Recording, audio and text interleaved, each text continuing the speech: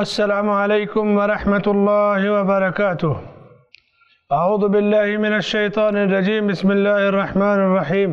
إن ربك يقضي بينهم بحكمه وهو العزيز العليم. فتوكل على الله. إنك على الحق المبين.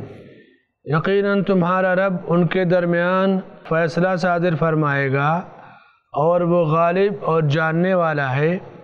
پس آپ اللہ پر بھروسہ کیجئے. آپ دین مبین پر ہیں۔ سامعین کرام، عزیز اور دوستوں بزرگوں اور بھائیوں، ہم آپ کی خدمت میں حاضر ہیں سورہ نمل کی آیت نمبر اٹھتر اور اناسی، دو آیتوں کی تفسیر لے کر کے۔ ہمیں امید ہے کہ آپ نے اس سے پہلے کہ دروس اور تفسیر کو سنا ہوگا، فائدہ اٹھایا ہوگا۔ آج کی اس گفتگو میں دو چیزیں ہیں۔ پہلی چیز جو اللہ نے بیان فرمائی کہ بنو اسرائیل جو اختلاف کر رہے ہیں، اللہ تعالیٰ ان کے درمیان عدل و انصاف کے ساتھ فیصلہ صادر فرمائے گا۔ بنو اسرائیل کیا اختلاف کرتے تھے؟ عیسیٰ علیہ السلام کے بارے میں ان کا اختلاف تھا۔ اور اسی طرح سے زمین پہ رہتے ہوئے اپنے انبیاء کے بارے میں مختلف مقامات پر اختلاف کیا۔ پوری زندگی ان کی اختلاف فتنوں سے بھری ہے۔ لیکن اختلاف کا جو حل ہے انبیاء نے بتایا۔ لیکن اللہ نے کہا کہ اگر وہ اسے نہیں مانیں گے تو اللہ حق کے ذریعے فیصلہ تو کر دے گا۔ دنیا میں قرآن ان کی رہنمائی کے لیے ہے، رسول ہیں۔ آخرت کے اندر اللہ تعالی حق اور عدل کے ساتھ فیصلہ صادر فرمائے گا۔ فیصلہ صادر کرنے کے لیے، فیصلہ دینے کے لیے دو چیزوں کا ہونا ضروری ہے۔ کیا ہے دو چیزیں؟ فیصلہ دینے والے کے پاس مکمل جو بھی کیس یا میٹر ہو اس کا علم ہونا چاہیے اور دوسری چیز فیصلہ نافذ کرنے کی طاقت و قوت ہونی چاہیے۔ عدالتوں میں جب جج فیصلے دیتے ہیں تو بار بار تاریخ دیتے ہیں، پورے کیس کو باریکی سے سمجھتے ہیں، باریکی سے چھان بیچ کرتے ہیں۔ اور اس کے بعد فیصلہ دینے کے بعد پھر جو ان کا محکمہ ہوتا ہے، پولیس ڈپارٹ ہوم منسٹری کا وہ اسے نافذ کرتا ہے فیصلے کو۔ یہ دنیا کا معاملہ ہے۔ اللہ تعالیٰ تو علیم اور عزیز ہے۔ سارے علوم کا مالک و خالق ہے۔ ہر چیز کو جانتا ہے اور وہ غالب و طاقت والا ہے۔ کہا، ان ربک یقضی بینہم بحکم اختلاف کر رہے ہیں نا؟ تو اللہ ان کے درمیان عدل کے ساتھ فیصلہ کرے گا۔ اور عدل کا فیصلہ کبھی کبھی دنیا کے فیصلے لوگ نہیں مانتے، چاہے عدل والا ہو۔ دنیا میں آدمی تو صرف یہ دیکھتا ہے کہ فیصلہ میرے موافق ہو، وہی مانتے ہیں۔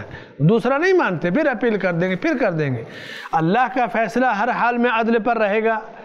دوسری چیز کی اللہ کا فیصلہ علم کی روشنی میں ہوگا۔ سارے نشیب و فراز، سارے اختلافات، پوشیدہ اور ظاہر ساری چیزوں کو جانتے ہوئے پھر اللہ تعالیٰ غالب ہے، طاقتور ہے۔ اللہ کے فیصلے میں تین ایسی خوبیاں جو بیان کیا اللہ نے کہ ایک تو عدل و انصاف کا فیصلہ، یہ واضح ہے کہ اللہ سے زیادہ کوئی عادل نہیں اور وہ اس سے بڑا کوئی حاکم نہیں۔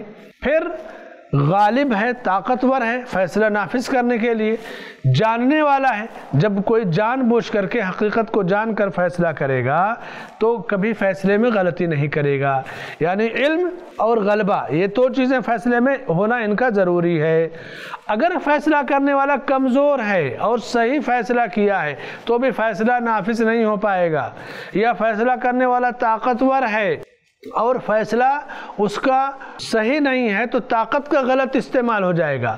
تو طاقت بھی ہو، علم بھی ہو، پھر وہ فیصلہ صحیح ہوگا اور یہ فیصلہ اللہ کی عدالت میں بندے کو ملے گا۔ تو اللہ نے اسی کا ذکر کیا اور فرمایا، فتوکل علی اللہ پس آپ اللہ پر بھروسہ رکھیے۔ کبھی بھی ان چیزوں سے مایوس نہ ہوئیے۔ اللہ پر بھروسہ رکھیے۔ آپ دین حق پر ہیں، دین مبین پر ہیں۔ اور دین مبین یہ توکل اللہ سکھاتا ہے اور اللہ پر بھروسہ رکھنا توکل اللہ، یہ نصف دین ہے۔ بغیر اللہ پر بھروسہ رکھے ہوئے اللہ کی عدالت کے فیصلے پہ بندے کو اطمینان نہیں ہوگا اور نہ تو فیصلے کا لطف ملے گا۔ جتنا زیادہ توکل اللہ مضبوط ہوگا، اتنا اللہ کے احکام کو سمجھنے میں لطف ملے گا۔ اسی لیے کہا کہ فعبد ہو و توکل علیہ، اللہ کی بندگی کرو اور اسی پر بھروسہ رکھو۔ اس لیے کہ بندگی اور عبادت کا اجر کون دے گا؟ اللہ تعالیٰ۔ اس پر مکمل بھروسہ رکھو گے تو عبادت کا بھی لطف ملے گا۔ اور پورا کا پورا دین عبادت ہے۔ انسان جتنا زیادہ اللہ پر مکمل اعتماد رکھے گا، اتنا زیادہ اسے اپنی عبادت کا لطف ملے گا۔ توکل کا یہ مطلب نہیں ہے کہ آدمی اسباب نہ اختیار کرے، اسباب اور وسائل اختیار کرنے چاہیے۔ جیسے کسی کو روزی روٹی کی ضرورت ہے تو محنت و مشقت کرے۔ توکل کا مطلب نہیں کہ بیٹھا رہے، بلکہ محنت کرے اور پھر جو نتیجہ آئے وہ اللہ کی طرف سے آئے گا۔ یعنی محنت و مشقت کرنا، اسباب و وسائل اختیار کرنا ضروری ہے۔ ایک مرتبہ اللہ کے رسول صلی اللہ علیہ وسلم کے زمانے میں کچھ لوگ حج میں تشریف لائے، یمن کی کوئی جماعت تھی تو انہوں نے کہا ہم اللہ پر بھروسہ کر کے آئے ہوئے ہیں۔ تو کہا نہیں، یہ توکل نہیں ہے۔ ذات اور راحلہ یعنی سامان سفر، توشہ سب ساتھ لے کر نکلو، پھر اللہ پر بھروسہ کرو۔ ایک آدمی نے کہا کہ میرا اللہ پر بھروسہ ہے، میں اپنا اٹھ کھلا چھوڑتا ہوں، توکل اللہ۔ آپ نے کہا نہیں، اس کو پہلے باندھ دو، پھر اللہ پر بھروسہ رکھو۔ کوئی اپنی گاڑی اسٹارٹ کر کے چابی لگی ہوئی، چالو چھوڑ کر کے آ جائے، اپنے آفس میں بیٹھ جائے۔ بولے میرا توکل اللہ ہے۔ کوئی آدمی آئے دروازہ کھول کے گاڑی لے کے چلا جائے تو کیا ہوگا؟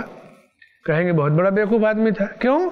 توکل یہ ہے کہ صحیح جگہ پارکنگ کیجیے، بند کیجیے، لاک کیجیے، پھر آ کر کے بیٹھیے۔ غلط جگہ پارکنگ کرنا یہ بھی غلط ہے۔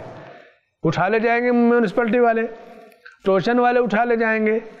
اور اس کے بعد غیر محفوظ جگہ اسٹارٹ یا گاڑی کھلی ہے تو چور اٹھا لے جائیں گے۔ تو اسباب اور وسائل اختیار کرنا چاہیے۔ توکل کی کتنی پیاری مثال دیا اللہ نے۔ اللہ کے نبی صلی اللہ علیہ وسلم فرماتے کہ لو انکم توکلون علی اللہ حق توکل اگر تم لوگ اللہ پر اس طرح بھروسہ کرو جس طرح کی بھروسہ کرنے کا حق ہے تو اللہ تمہیں اسی طرح روزی دے گا جس طرح پرندوں کو روزی دیتا ہے۔ تغدو خماسن و تروح بتانا یہ پرندے صبح صبح اپنے گھونسلے سے خالی پیٹ نکل جاتے ہیں۔ کس لیے؟ روزی کی تلاش میں۔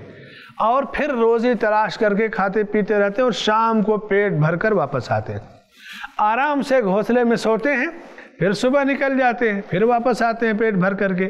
تو یہ ہے توکل یعنی رزق کی تلاش میں آدمی نکل جائے، روزی حاصل کرے، محنت و مشقت کرے۔ تو محنت و مشقت جب کرے گا اور پھر اللہ پر بھروسہ کرے۔ بھروسہ یہ نہیں ہے کہ آپ ایسے ہی بیٹھ جائے اور کہیں کہ میرا اللہ پر بھروسہ ہے۔ ہمارے سماج کا معاملہ کتنا برا ہے۔ کسی کی شادی یا رشتہ جب طے ہوتا ہے نا اگر لڑکے والے کے اندر مال و دولت کی کمی ہے، پڑھا لکھا ہے، سیدھا سادہ ہے، خوشحالی نہیں ہے، تو لوگ پیچھے ہٹ جائیں گے، کہیں گے ارے، کہاں سے کھلائے گا، کہاں سے خرچ پورا ہوگا؟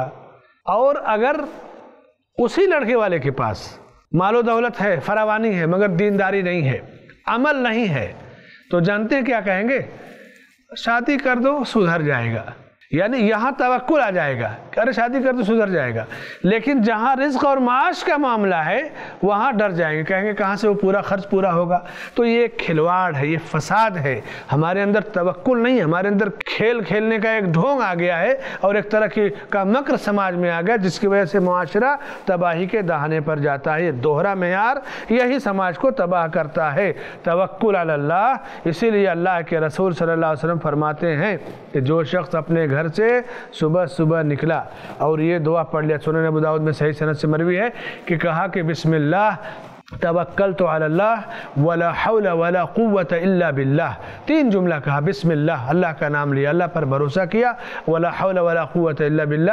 تو اللہ کی طرف سے اسے چار انعامات ملتے ہیں، ہدیت و کفیت و وقیت۔